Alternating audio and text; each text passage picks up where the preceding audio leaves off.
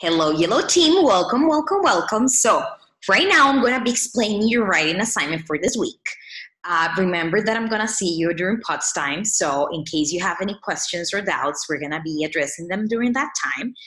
Uh, we're going to be also uh, reading a new story this week, and I, I really like this story. It's, it's so beautiful, and I think it has beautiful pictures. You'll see it in a minute. But before we jump into the video, into the whole uh, explanation, I want to give you a couple of tips.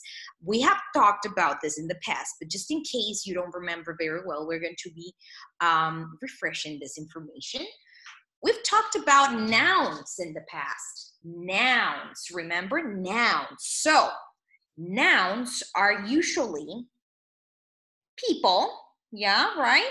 Like people, places, things, or even animals. So whatever we call people, places, things, or animals are usually nouns, okay? If I say the teacher, a teacher is a noun. If I say the student, student is a noun. If I say the girl, the boy, the friend, the mom, the dad, those are nouns. If I say the school, if I say the um, the the house, the park, all those are nouns. If I say the rabbit, right? The rabbit, the um, the cat, the dog, the fruit, the chair, the table, all those are nouns, okay, friends? Remember, these are common nouns, okay? Nothing specific. When we use proper names, when we use Miss Vicky, Miss Shada, Nikla, Selim, Amelie, when we use proper Mariana, those are different, okay? Only non-specific nouns, okay? These ones are non-specific nouns. We're talking about people, places, animals, things, but nothing specific for now. Okay, friends? That's here. And you're gonna see that you're gonna find a little assignment about a little activity about this. But before we jump into the whole explanation, I also want to remind you about synonyms, okay?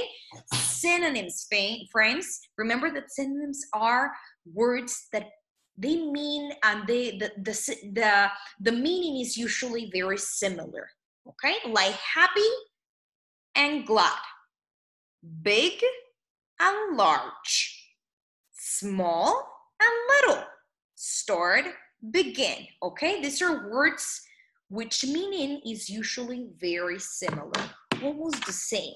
Okay, friends? Just take this in mind. I'm going to be refreshing everything while I'm explaining every activity, but just in case, okay? So, the story that we're going to be reading this week is so beautiful. I just love it so much. It's called "I Love the Earth." I might, I might, I might uh, during our POTS time, I might uh, ask Miss Shida or whoever is going to be with you to review the story. Okay. I am hoping that if I didn't have you last week and I'm not having you this week, friends, I might have you next week. That's what I'm hoping because I want to see how everyone is doing. Okay. So, um, this is the story for this week. I love the earth and I think it's so beautiful. You will find so many beautiful pictures in here about beautiful landscapes. Just enjoy. Again, we might review this story later, uh, but I also want to try to read some other stories. Anyways, that's the story for this week. And then let's see the. So as you see here, these pictures are actually nouns. Remember? Can be either can be either, just to refresh, can be either a person, a place, an animal, or a thing. So, friends, we're gonna be labeling those pictures that you have there. There's two pages of pictures of different types of nouns. And I want you to sort them by labeling them with the beginning sound. If it's a person, letter P. Okay? If it's a person, letter P. If it's a thing, ooh, this diagram over here, do you remember? Okay, a thing. Mm, yes. And if it's an animal, answer my arm. Okay? Letter A. Okay? Remember, person, thing, an animal, ah. Okay? Or letter A. All right, friends? So, you have many animals in here many like yeah many people many different persons and you also have things no places though that's why i didn't give you that option we have no places only these two first pages right up here okay let's let me just give an example little example okay let me see i need my pencil and right here all right so in here i have an animal ah in here, I have a person. Okay? Right here, an animal. Okay? Right there on top of it. Okay? I have another animal here. Okay? That's all. Do it with these two pages, friends. These two pages, please. Okay? These two pages. Okay? That's why I need to erase. Every time I'm using this, I need to erase. Okay, one second. I'm going to erase it before we keep going. Mm -hmm. All right. And close attention to the rest, friends. We're still keeping that in mind. People, places, animals, or things are nouns. So, what you're going to be doing in this second page, I'm sorry, the third page, third page is that we're going to add a little pronoun here that we know very well. I. I. You see how it says? I see the mountains, okay? Let's try to read these little sentences on your own. And don't forget to add, to add letter I in here, okay? I'm just going to give an example so it's clear enough. Okay, one second. I'm going to give an example. All right. I see the mountains. The mountains. Okay, friends? Remember to have eagle eyes. Help yourself to read these little sentences with these beautiful pictures that we have here. That is going to help. I'm not going to read the rest because I want you to do it by yourself. Okay? But then that's not it. I would like you to also circle the noun again, just to double check. A noun is either a person, a place, a thing, or an animal. Okay? In this case, we're talking about what?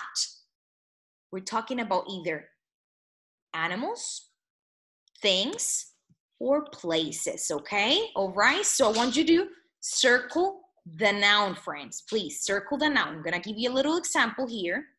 Again, I need to, right? Little example. So are you ready? Are you wrote here, I, right, see the, the mountains. This is a place, so I'm gonna circle it. You're gonna find different types of nouns. Remember, either things, animals, people, or places, okay? So, I see the mountains, read at letter I, or the word I, right? And then circle the noun. Okay, that's your duty for this little page over here, the third page. And then what you're gonna be doing over here, friends, is something in regards to this synonyms. Okay, friends, remember words there are similar that have similar meaning. Okay, almost the same. All right, almost the same. So I'm gonna show you over here and I'm gonna give you an example. Just a, a little tip, friends, a little tip. Not all of these words have a synonym, okay? They don't have a synonym, not all of them, okay? But you might find it. Uh, oh, wait, no, they do. I'm sorry, they do. Yes, they do. You can make little lines here. I'm going to, I'm going to make a line to put together the word rock and the word stone. Rock and stone, they're almost the same. They're very similar. Remember, a rock is usually a big piece, and then a stone is usually smaller, okay? So in here, friends, we have the word father, happy, sleepy, dad, glad, and tired make a little line, a little line between the ones that have similar meaning, okay? I read it with you, but I want you to reread them again. It's important, okay? Read them again. Try to do this by yourselves, friends. And again, I'm going to be helping you. And I think that I have most of you during uh, POTS time, okay? So um, we're gonna be doing this together, don't worry. I if I don't have you again, if I don't have you this week, it's because I need I needed to make some little changes, but I might have you next week, okay? Because I want to see how everyone is doing. All right, friends? So I'll see you next week, and I hope everything goes well. Uh, yeah, sorry, this week you might be looking. Yeah, I'm just making. I'm recording this video before the week. Sorry, friends. Anyways, I'll see you soon. Take care, and yeah.